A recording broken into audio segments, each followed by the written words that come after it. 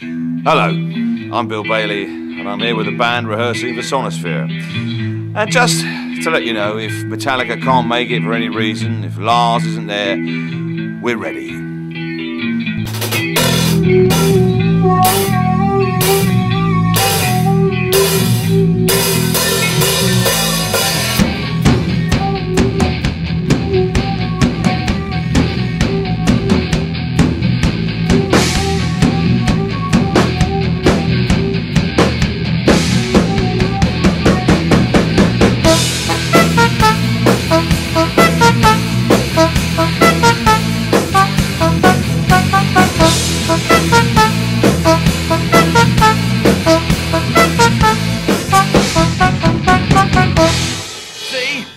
Ready!